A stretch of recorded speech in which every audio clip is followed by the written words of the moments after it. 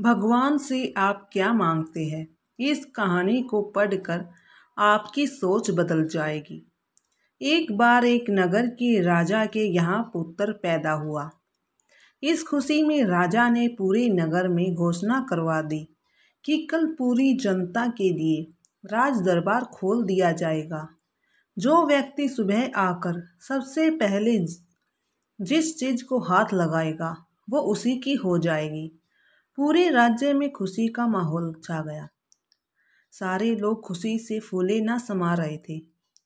कोई कह रहा था कि मैं तो सोने की कलश पर हाथ लगाऊँगा। किसी को घोड़ों का शौक था तो वो बोल रहा था, घोड़ों को हाथ लगाऊँगा।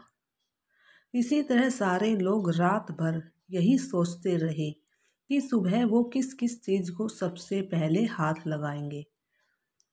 सुबह जैसे ही दरबार खुला सारे लोगों का राजा ने राज दरबार में स्वागत किया।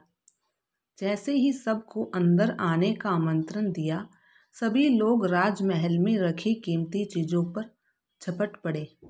सबके मन में डर था कि कोई दूसरा पहले आके उनकी पसंदीदा चीज़ों को हाथ ना लगा दे। कुछ ही देर में दरबार का माहौल बड़ा अजीब हो गया। सारे लोग इधर उधर दौड़ रहे थे। राजा अपने सिंहासन पर बैठा, ये सब देख रहा था। और राजा को बड़ा ही आनंद आ रहा था। अचानक एक छोटा सा बच्चा भीड़ से निकल कर आया और राजा की ओर आने लगा। राजा उसे देख कुछ समझ नहीं पाया और इतने में वो बच्चा राजा के नज़दीक आया और उसने राजा को हाथ लगा दिया। अब राजा उसका हो चुका था। तो इस तरह राजा की हर चीज़ उसकी हो गई। इसी तरह जैसे राजा ने जनता को मौका दिया, वैसे ही हमारा ईश्वर हमें रोज़ाना मौका देता है, कुछ पाने का। लेकिन हम नादान हैं और ईश्वर की बनाई हुई चीज़ों को पाने में अपनी पूरी शक्ति लगा देते हैं। किसी को गाड़ी चाहिए तो किसी को बंगला, किसी को पैसा तो किसी को शान शौकत। रोज़ भगवान से प्रार्थना में भी भगवान की ही चीज़ें मांगते हैं।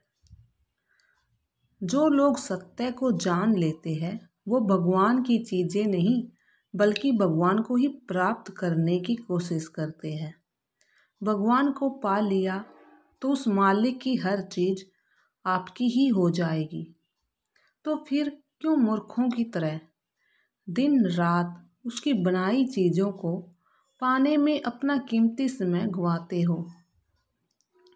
सीख, उस ईश्वर की स्तुति करो। उसे पाने की कोशिश करो। फिर उसकी हर चीज़ आपकी हो जाएगी। धन्यवाद।